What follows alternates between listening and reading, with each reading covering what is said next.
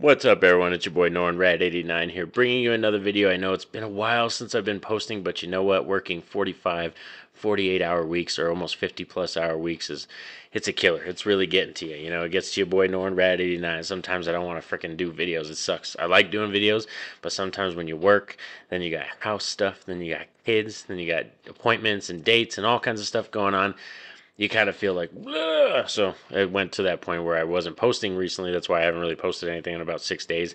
And these two videos that I have planned right now are going to be low key, very minimal editing because I don't really want to do a lot of editing right now. so today we have full gear happening today, AEW's pay per view 2024. I wanted to do a wrestling video content one, and I have the card right here, the main card. There are two matches that I believe that are going to be on zero hour. Not going to talk about those matches. We're just going to jump right into the main card, and I'm going to give you my opinion on who's going to win and who's going to leave a loser. so today we're gonna go into right into Jay White versus Hangman Adam Page, which me I am loving this feud. I enjoyed this feud. I think Hangman Adam Page is doing some of the best character work he's done. I really didn't like him at all at all, and I've really grown to like him over this course of the last like three months. And Jay White's one of my favorites, and I think Jay White plays off of Adam Page very well.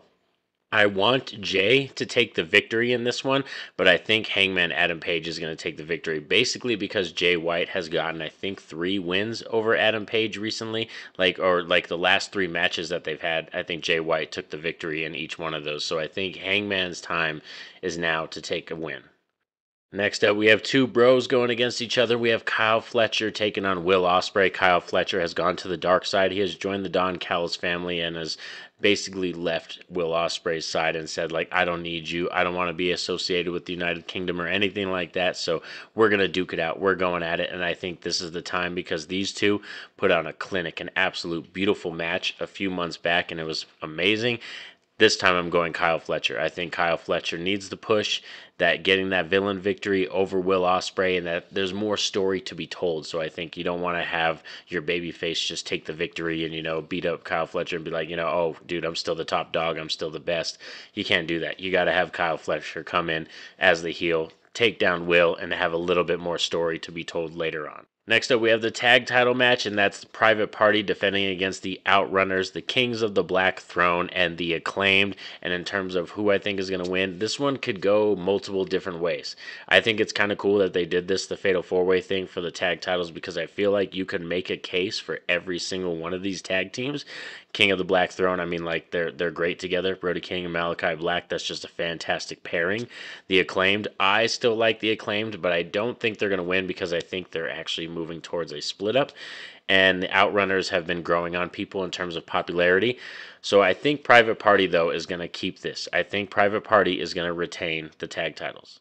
Next up, we have Konosuke Takeshita, and he's going to be defending his AEW International title against Ricochet, and I'm taking Takeshita for the win. I really don't think it's his time to lose. I love Ricochet, and I think what he's doing in AEW is really cool, but I think he's he's just running into Konosuke Takeshita at the wrong time because this boy is on on another level, and I think he's one of the best, and I think he needs to keep the international title and keep it running and have some more premier title defenses in the future. Next up, we have Jack Perry defending his TNT title against Daniel Garcia, and I'm going Jack Perry on this one. We could go Daniel Garcia and maybe have, you know, the babyface come out with the win, but I think I'm leaning more towards Jack Perry because I think we're going to push Daniel Garcia more towards the heel perspective. He actually might join Death Riders. I know Jon Moxley's Death Riders are totally ringing through right now. Blackpool Combat Club is in shambles. I don't know if you guys know that. I'm a Blackpool Combat Club for life, but they are totally in shambles right now, and Jon Moxley's running around with the Death Riders. And I think Jack Perry is going to beat Daniel Garcia, and that's going to lead Daniel into going more towards that heel route. Next up, we have Kris Statlander going against Mercedes Moné for the TBS title. And Mercedes, I don't think she's had the most fantastic TBS title run, but I think, to be honest, this is her time to lose. I know that might suck to hear from Mercedes or Mercedes fans, but I think Kris Statlander being this would be her second time, yeah, her two, she'd be a two-time TBS champion now, and I think Kris Statlander's got the, she's got the power, she's got the oomph, she's got the character and the persona, and I think her beating Mercedes would go a long way, and that's like my major, major title switch going on today for me. One other match that we have on the card is MJF versus Roderick Strong. I actually almost forgot about this one just because this is kind of forgettable. Not to knock Roderick Strong. I think Roderick Strong is fantastic. He's amazing in the ring, one of the best technical wrestlers they have in AEW. MJF is an absolute stud and a star. I just think the story, the build up, what is happening right now with this going on, and just I'm not that invested. And I'm going to go MJF for the victory on this one.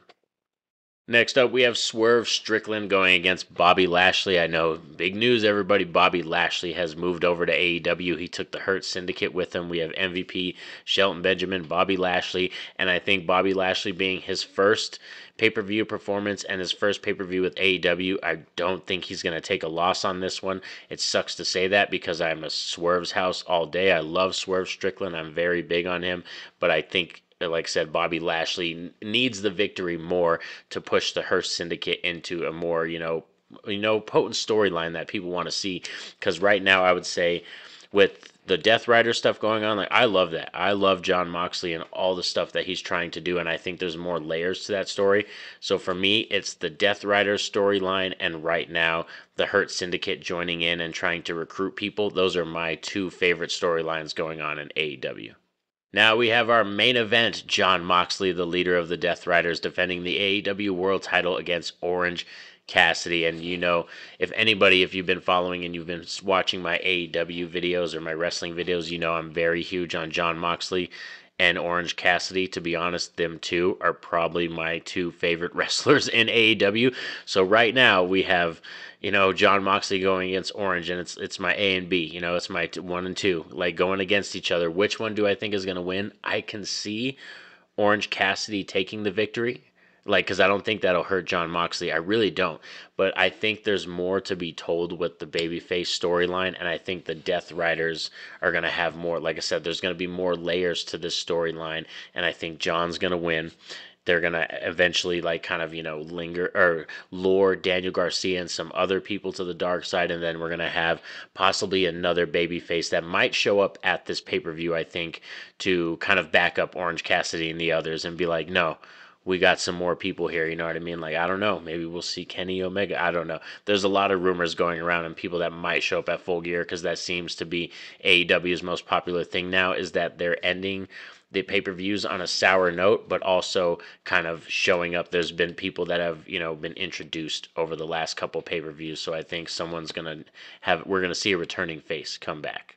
But thanks for sticking around with me all. This was a quick one. Like I said, minimal editing, just giving my thoughts on the AEW Full Gear pay-per-view. and wanted to get this one out because that is tonight. So I think 4:30 p.m. my time, it will be starting the you know the hype show and everything, and then at six o'clock my time, around 8 p.m. Eastern time, I believe. No, yeah, I believe so.